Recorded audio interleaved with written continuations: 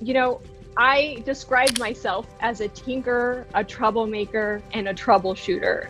I am a proud lifelong learner. I'm a bookworm and I'm a total cat lady.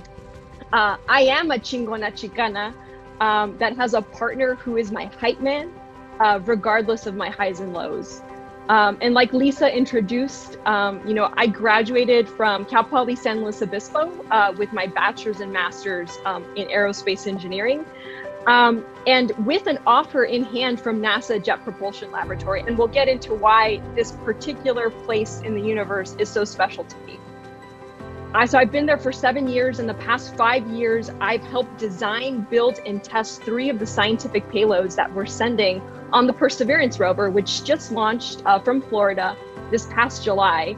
And it's a one ton robotic astrobiologist and geologist that is the first part of a future planetary sample return mission.